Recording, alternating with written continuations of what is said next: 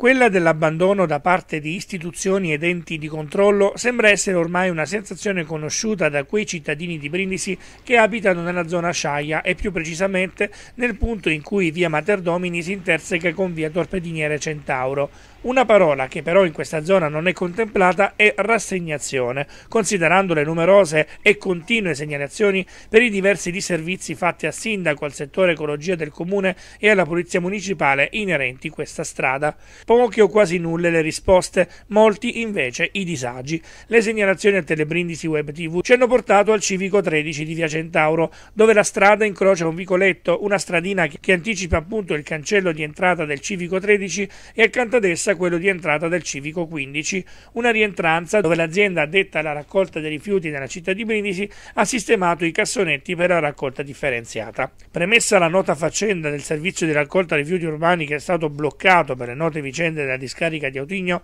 le lamentele dei residenti della zona sono più che fondate, a partire dal geometra Brescia, che è proprietario del Civico 13, che di quella porzione di strada dove giacciono i cassonetti è addirittura il proprietario. Sì, avete sentito bene, i cassonetti pubblici per la raccolta rifiuti sono su un suolo privato, dove non dovrebbero essere e non dovrebbero mai essere stati posizionati. La posizione strategica fa della zona di raccolta rifiuti in via Centauro a questi si unisce anche il via vai di automobilisti che arrivano da fuori con la propria spazzatura e lasciano i rifiuti proprio in quel punto che per quanti abitano nelle vicinanze rappresenta una vera e propria discarica sotto casa dove poi ci si trova di tutto, dal cartone della pizza al copripoltrona tigrato, dalla tavoletta del water a vecchi indumenti. Purtroppo, come segnalato, tutta la strada è un pullulare di servizi, alcuni dei quali già segnalati in un nostro servizio di ben due anni fa, girato nell'agosto 2013, dove parlavamo proprio di via Centauro.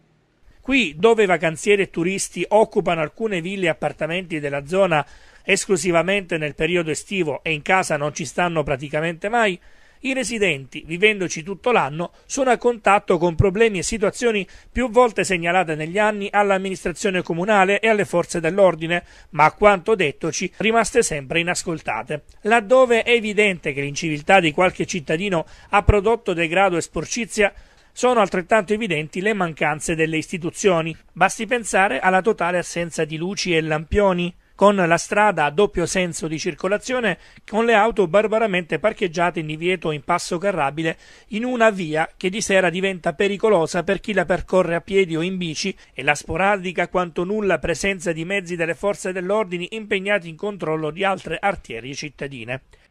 A distanza di due anni l'unico cambiamento registrato è l'eliminazione del doppio senso di circolazione. Ora la strada è a senso unico, con accesso che anche per chi abita nelle vicinanze dell'intersezione con via Materdomini è costretto a circumnavigare tutta la Ciaia per imboccare la strada dalla parte opposta. Luci e lampioni per strada continuano ad essere inesistenti e quindi lasciano al buio per tutta la sera e l'intera notte la via. Il parcheggio nelle zone vietate è ancora un vizio diffuso e la latitanza dei mezzi delle forze dell'ordine invariata.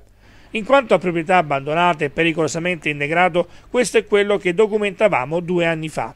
Più avanti, addentrandosi sulla via, ci si imbatte in una zona recintata da una cancellata che doveva essere destinata ad un residence, del quale è rimasto solo la recinzione in ferro del tutto fatiscente e in alcuni punti rovinata. All'interno regna sovrano un canneto e vegetazione spontanea che farebbero invidia anche alla foresta amazzonica. Insomma, un vero e proprio sfacelo. Oggi, oltre ad aver ritrovato la zona documentata sempre più rigogliosa, ne abbiamo trovata anche un'altra esattamente di fronte alla stessa, con la differenza che quest'ultima, una volta, non molto tempo fa, è stata abitata, ma chi ha ereditato l'area dopo la dipartita dei proprietari l'ha abbandonata a se stessa. Abbandonata, sì, come la sensazione che per chi abita in via Centauro sembra purtroppo diventare ogni giorno una realtà fin troppo evidente.